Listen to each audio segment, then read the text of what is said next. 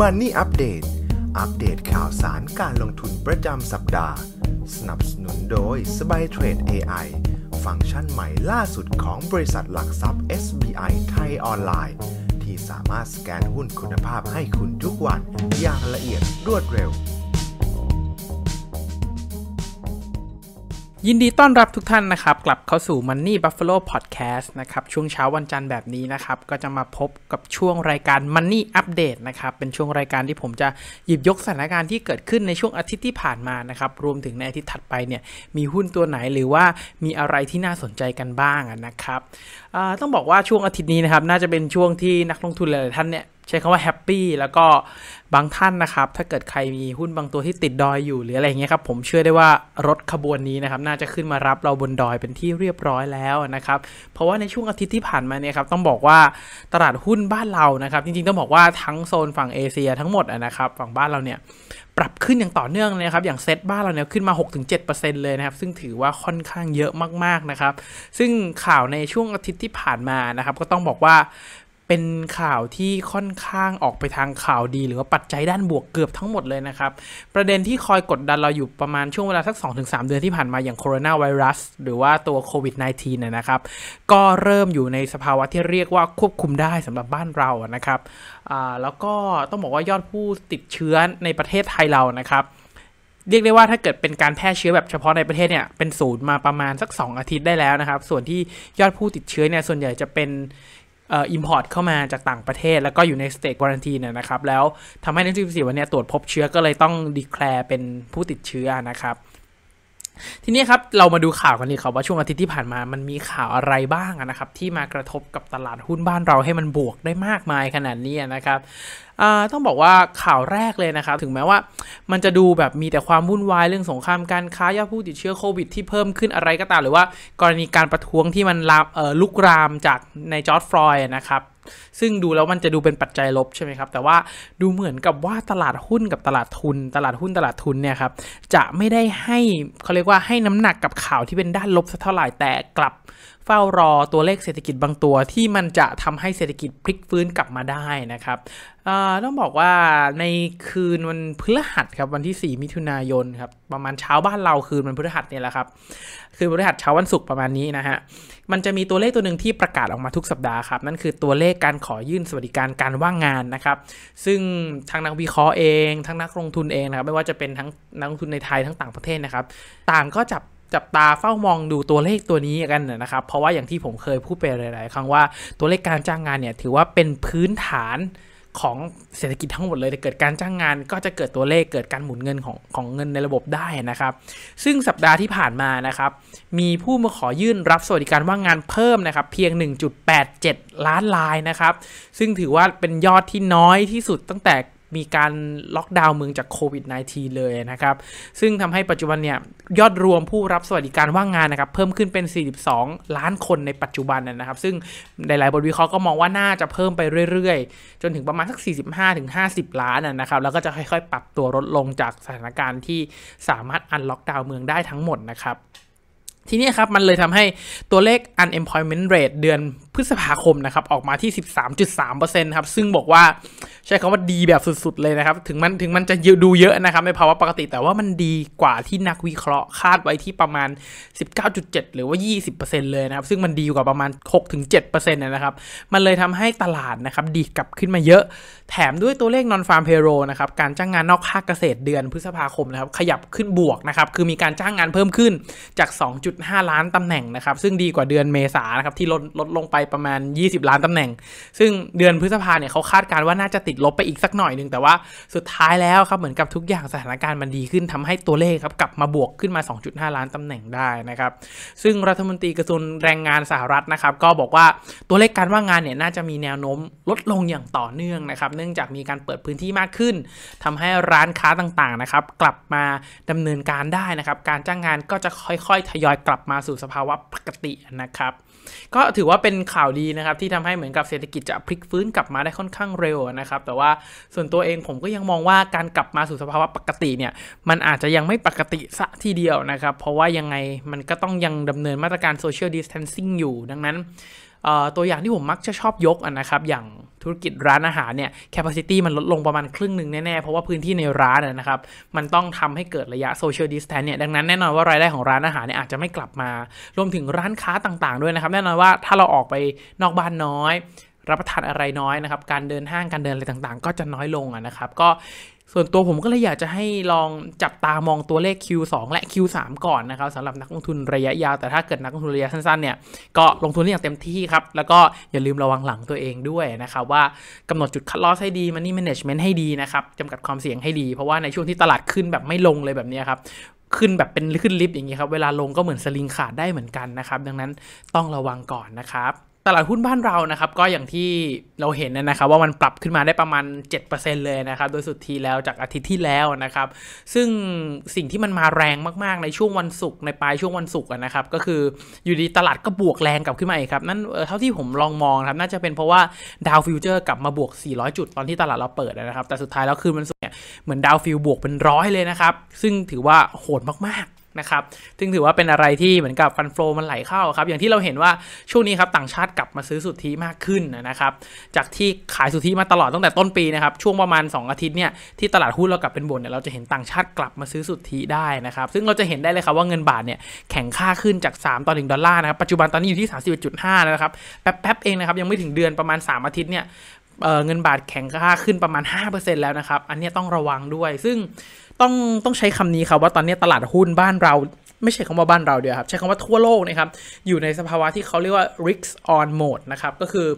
จะเป็นช่วงที่เงินนะครับไหลจากสินทรัพย์ที่มีความเสี่ยงต่ำหรือว่าสินทรัพย์ที่ใช้ในการบริหารความเสี่ยง หรือเป็นสินเขาเรียกว่า asset back security นะครับอย่างทองคำเนี่ยวิ่งไหลออกมาที่สินทรัพย์ที่มีความเสี่ยงสูงมากขึ้นนะครับ ซึ่งก็ต้องบอกว่าในระดับ SET Index เท่านี้ก่อนนะครับ ซึ่งถ้าเกิดมองดูในภาวะของเชิงที่เรียกว่าเทคนิคนะครับ ตอนนี้ SET Index กลับขึ้นมายืนเส้น EMA 200 วันได้แล้วนะครับ ซึ่งถ้าในเชิงเทคนิคเนี่ยก็ต้องบอกว่าถ้ายังเกาะเส้นนี้ไปได้นะครับ ก็ต้องบอกว่า SET Index กลับเข้าช่วงที่เรียกว่าขาขึ้นแล้วนะครับดังนั้นก็ตามนั้นแหละครับ ถ้าเกิดในอาทิตย์หน้าเนี่ย มันยังไม่ปรับลงต่ำกว่าเส้น EMA 200 วันเนี่ย ก็สบายใจได้เปลาะหนึ่งว่า การฟื้นตัวของเศรษฐกิจเนี่ยครับอาจจะมาจริงมันอาจจะเกินคำว่าเงินทะลักและไหลเข้ามาครับเพราะว่าก็ต้องยอมรับว่าตัวเลขการจ้างงานมันดีขึ้นจริงๆ ดังนั้นนักลงทุนหลายๆท่านอาจจะเขาเรียกว่ามองแง่บวก แล้วก็ลงทุนมากขึ้นนะครับ แล้วก็ต้องยอมรับว่าสินทรัพย์ความเสี่ยงต่ำอย่างพวกตราสารหนี้เนี่ยความเสี่ยงก็ไม่ได้น้อยนะครับ แล้วก็ให้ผลตอบแทนที่ต่ำเนี่ยดังนั้นบางทีเขาอาจจะมองว่ามันยังมีแกลบมีมาจิ้นนะครับให้เข้ามาทำกำไรในตลาดหุ้นได้อยู่ ก็เป็นเรื่องปกติครับที่ฟันโฟจะไหลเข้ามานะครับ ซึ่งช่วงอาทิตย์ที่ผ่านมาครับเราก็จะได้เห็นอีกอย่างหนึ่งครับก็คือเรื่องที่จีนกับสหรัฐนะครับงัดข้อกันเล็กน้อยนะครับเพราะว่าล่าสุดเนี่ยครับจีนมีการประกาศยกเลิกนำเข้าสินค้าเกษตรรายรายการนะครับรวมถึงถั่วเหลืองด้วยนะครับซึ่งมันเป็นข้อตกลงของการเจรจาสงครามการค้าเฟสหนึ่งที่ตกลงกันไว้นะครับ ซึ่งต้องบอกว่าสหรัฐละเมิดข้อตกลงอันนั้นนะครับ จีนก็เลยไม่จะไม่นำเข้าอะไรต่างๆ จากสหรัฐเข้ามานะครับ ซึ่งเกษตรกรถั่วเหลืองหรือผู้ผลิตถั่วเหลืองเนี่ยต้องบอกว่าในหลายรัฐนะครับ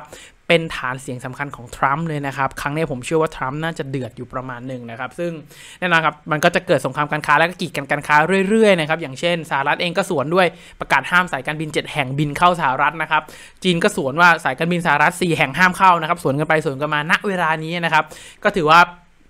ใช้คำว่ามวยถูกคู่ก็ได้นะครับ ซึ่งในช่วงปลายปีอย่างที่เรารู้กันนะครับ มันจะมีการเลือกตั้งประธานาธิบดีคนใหม่ของสหรัฐอเมริกาแล้วซึ่งทรัมป์ลงเป็นวาระสองด้วย ซึ่งผู้แข่งจากพรรคเดโมแครตนะครับนายโจไบเดนเนี่ยก็ต้องบอกว่าตอนนี้คะแนนความนิยมจากโพนะครับ ยังได้เขาเรียกว่ายังนำทรัมป์อยู่เล็กน้อยในส่วนของคือในที่สหรัฐนะเวลาเลือกตั้งเลยเราต้องยอมรับว่าเรื่องของการเมืองอะไรต่างๆเนี่ยมันไม่ได้ต่างจากบ้านเรามาก ใครชอบฝั่งไหนแล้วก็จะชอบก็จะเชียร์ฝั่งนั้นไปเรื่อยๆนะครับ แต่ว่าเขาจะมีสิ่งที่เรียกว่าสวิงสเตทครับ ก็คือมันจะมีอยู่บางรัฐนะครับ ที่เหมือนกับผลโหวตไม่ได้ไปในไม่ได้ชี้ชัดว่าอยู่ในทิศทางไหนอย่างชัดเจนก็คือเปลี่ยนได้นะครับ ดังนั้นเนี่ยครับทุกคนเป็นที่รู้กันครับว่าจะต้องเอาชนะ ใจเขาเรียกว่าเอาชนะฐานเสียงที่อยู่ในเขาเรียกว่า swing state พวกนี้ให้ได้ เพราะว่าฐานเสียงที่มันใช่มันก็คือใช่แหละครับ ไม่ต้องไปอะไรมากเลี้ยงเลี้ยงไปมันก็เลือกเราอยู่แล้ว แต่ว่าในโซนที่เป็น swing state นะครับที่ทรัมป์พยายามต้องทำการบ้านอย่างหนักและเอาชนะมาให้ได้นะครับ ซึ่งโพลตอนนี้นายโจไบเดนชนะ swing state อยู่นะครับ ซึ่งทรัมป์ผมเชื่อว่าเดี๋ยวน่าจะเห็นอะไรบ้าๆบอๆออกมาอีกประมาณนึงนะครับ อันเนี้ยลองจับจับตาดูกันครับสนุกดีครับ ดูทรัมป์ก็ ผงผางครับ แต่ว่าชัดเจนเดาทางได้ไม่ยากเท่าไหร่ ซึ่งการที่ทรัมป์มา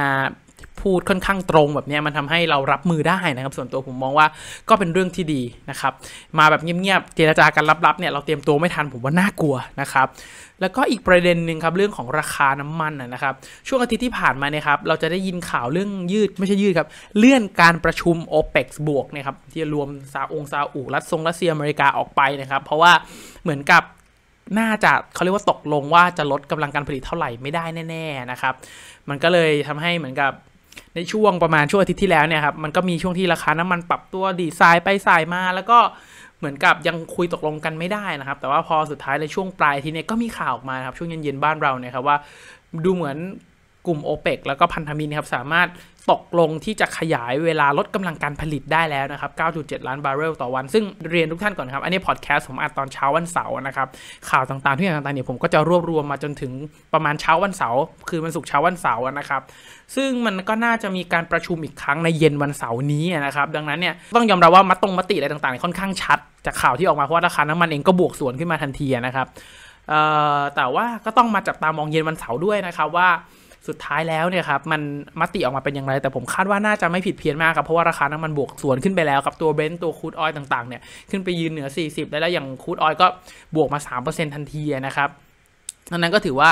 ถ้าข่าวตอบสนองกับราคาน้ำมันตอบสนองกับข่าวนี้ครับดังนั้นผมเชื่อว่ามติไม่น่าจะมีปัญหาอะไรนะครับ แล้วก็อีกอย่างหนึ่งครับราคาทองคำในช่วงอาทิตย์ที่ผ่านมานะครับมีการปรับตัวลงมาค่อนข้างเยอะนะครับก็เป็นเรื่องปกติครับเวลาอยู่ในช่วง risk on mode ก็จะมีเขาเรียกว่าเงินไหลออกจากสินทรัพย์อย่างทองอย่างตราสารหนี้นะครับออกมาสู่สินทรัพย์เสี่ยงมากขึ้นก็คือตลาดหุ้นทั่วโลกนะครับทำให้ทองช่วงอาทิตย์ที่ผ่านมาปิดลบประมาณ 2.8-2.9%นะครับก็ถือว่าเป็นเรื่องปกติในการปรับตัวครับโวลุ่มไม่ได้เยอะมาก ซึ่งถ้ามองในเชิงเทคนิคแล้วครับเหมือนจะเป็นการย่อเพื่อกระโดดอีกครั้งหนึ่งนะครับในมุมมองของผมก็ถือว่ายังโอเคอยู่นะครับ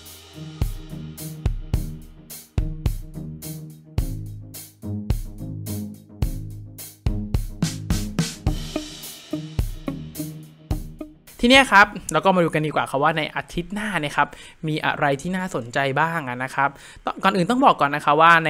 บทวิเคราะห์ต่าง ๆสำหรับการวางแผนการลงทุนในทิตย์หน้าเนี่ยผมได้รับการสนับสนุนจาก SBI ไทยออนไลน์นะครับสำหรับใครที่มองหาแหล่งเปิดพอร์ตหุ้นอยู่นะครับค่าคอมถูกไม่มีขั้นต่ำนะครับผมแนะนำที่นี่เลยครับ SBI ไทยออนไลน์นะครับซื้อขาย 10,000 บาทนะครับก็เสียค่าคอมแค่ 7.5 บาทเท่านั้นเองนะครับต้องบอกว่าค่อนข้างต่ำเกือบที่สุดในตลาดแล้วนะครับใครมองหาแหล่งเปิด พอร์ตหุ้นดีๆ อยู่นะผมแนะนำที่นี่เลยนะครับ SBI ไทยออนไลน์นะครับ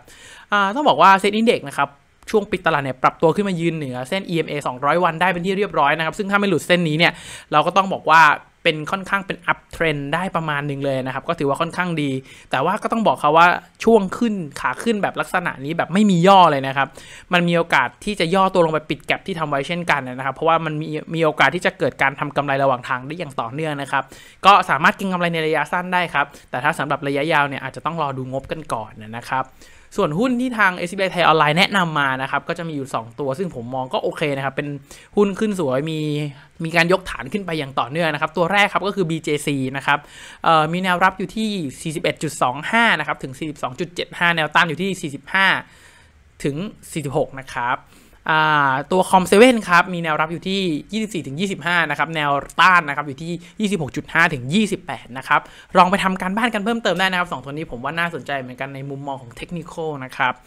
แล้วก็สำหรับใครที่เปิดพอร์ตกับทาง SBI ไทยออนไลน์นะครับ จะมีโปรแกรมตัวหนึ่งที่เอาไว้สำหรับช่วยเหลือนักลงทุนในการหาหุ้นนะครับ โปรแกรมตัวนั้นนะครับจะชื่อว่า s p y Trade AI ครับ s p y Trade AI นะครับจะเป็นการนำข้อมูลในอดีตนะครับทั้งเชิงพื้นฐานแล้วก็เชิงของเทคนิคเทคนิคต่างๆนะครับมารวมกันแล้วก็เวทเป็นคะแนนนะครับ คะแนนเชิงพื้นฐานเต็ม 100 คะแนนนะครับคะแนนเชิงเทคนิคเต็ม 100 คะแนน ถ้าหุ้นตัวไหนได้ 100 เต็ม 100 เนี่ยถือว่าเป็นหุ้นที่ดีนะครับเราไปทำการบ้านเพิ่มเติมรับรองว่าจะเห็นงบที่ดีกราฟที่สวยแน่นอนนะครับซึ่งอาทิตย์นี้ผมหยิบมา 2 ตัวนะครับ ตัวแรกนะครับก็คือคาราบาวแดงครับ CBG เนี่ยได้คะแนนพื้นฐาน 85 นะครับ เทคนิค94 เป็นหุ้นใหญ่ที่ได้คะแนนสูงที่สุดในสัปดาห์ที่ผ่านมานะครับ ลองไปทำการบ้านตัวนี้เพิ่มเติมกันดูนะครับ แล้วก็อีกตัวหนึ่งนะครับ คือตัว KYE นะครับ หรือว่าที่เราคุ้นๆกันชื่อบริษัทกันหยงอิเล็กทริกนะครับ ซึ่งต้องบอกว่าตัวงบอาจจะไม่ได้ดูดีมากครับ แต่ว่าตัวของเทคนิคต่างๆนะครับ ได้ถึง 96 เลยนะครับ ซึ่งมี MACD Signal ให้เกิด Buy Signal ใน MACD ด้วยนะครับ ต้องบอกว่าบริษัทกันหยงเนี่ยผมเชื่อว่าหลายๆท่านเนี่ยน่าจะเป็นลูกค้าอยู่ แล้วก็อาจจะคุ้นคุ้นชื่อนะครับ เรื่อง Air Mixu เครื่องใช้ไฟฟ้า Mixu ต่างๆนะครับ เพราะว่าบริษัทกันหยงเนี่ยเป็นการร่วมทุนระหว่างครอบครัวโพธิวรคุณของไทยเราเองเนี่ยแหละครับกับ บริษัทของญี่ปุ่นก็คือมิสูอิเล็กทริกของญี่ปุ่นนะครับ โดยได้รับลิขสิทธิ์ทางเครื่องหมายทางการค้าแบรนด์ต่างๆ รวมถึงเทคโนโลยีการผลิตเครื่องใช้ไฟฟ้าพัดลมตู้เย็นเครื่องใช้ไฟฟ้าแอร์ต่างๆ เพื่อขายทั้งในและต่างประเทศนะครับ ถ้าเกิดใครอยากสนใจหุ้นตัวนี้นะครับลองไปทำการบ้านเพิ่มเติมกันดูนะครับกราฟสวยจริงๆครับแล้วก็ลองคัดการต่างๆ คัดการงบต่างๆ ดูนะครับอาจจะเป็นหุ้นอีกตัวหนึ่งที่น่าสนใจก็ได้นะครับ สุดท้ายนะครับ ถ้าเกิดใครมองว่าพอดแคสต์นี้เป็นประโยชน์นะครับ อยากรบกวนทุกท่านจริงๆครับ ให้กดไลค์กดแชร์ กด Subscribe นะครับในทุกๆ ช่องทางที่ทุกท่านรับฟังกันอยู่นะครับ เพื่อเป็นกำลังใจให้กับตัวผม ให้กับทีมงานของทาง Money Buffalo นะครับ เพื่อผลิตคอนเทนต์ดีๆ ต่อไปนะครับ ยังไงก็ขอให้ทุกท่านนะครับ โชคดีกับการลงทุนนะครับ